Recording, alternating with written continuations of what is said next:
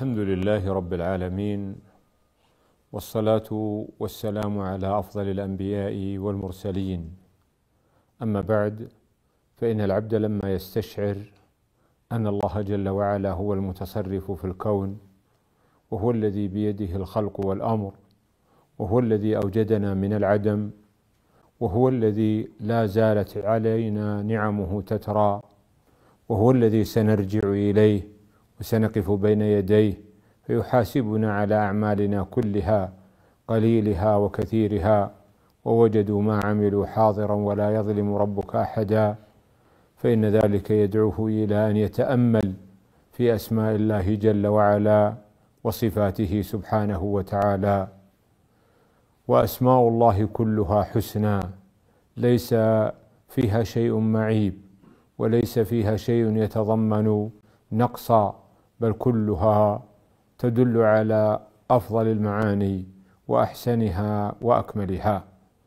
ولذا علينا أن نأله الله وأن نعبده سبحانه وتعالى بأسمائه الحسنى ومن عبوديته أن نعرف هذه الأسماء وأن نتأمل المعاني العظيمة التي اشتملت عليها.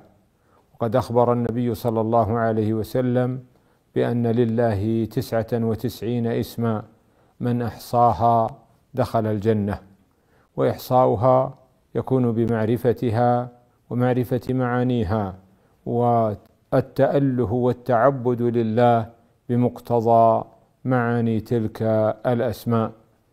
وليس في هذا دلالة على انحصار أسماء الله في هذا العدد وإنما الأجر المرتب في هذا الخبر المتفق عليه يصدق على تسعة وتسعين اسما وإن كان قد يكون له سبحانه وتعالى أسماء غيرها.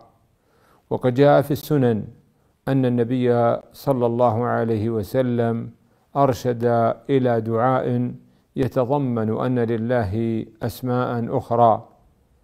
أسألك بكل اسم هو لك سميت به نفسك أو أنزلته في كتابك أو علمته أحدا من خلقك أو استأثرت به في علم الغيب عندك أن تجعل القرآن العظيم ربيع قلبي. وإن كان بعض أهل العلم قد تكلم في هذا الخبر من جهة إسناده ورأى آخرون تحسينه ورأى بعضهم أن له شواهد تقويه فإن رب العزة والجلال قد أخبر بأنه قد سمى نفسه بالاسماء الحسنى كما في قوله جل وعلا قل ادعوا الله أو ادعوا الرحمن ايا ما تدعوا فله الأسماء الحسنى. وكما قال تعالى ولله الأسماء الحسنى فادعوه بها وذروا الذين يلحدون في أسمائه.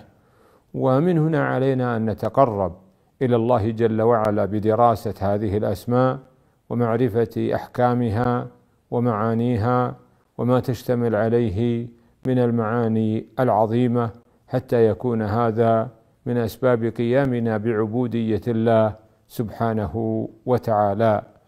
ومن هذا المنطلق كانت فكرة هذه اللقاءات في التعرض لأسماء الله الحسنى وبيان معانيها. بارك الله فيكم ورزقنا الله وإياكم معرفة أسمائه الحسنى وصفاته العلى. هذا والله أعلم. وصلى الله على نبينا محمد وعلى آله وصحبه أجمعين.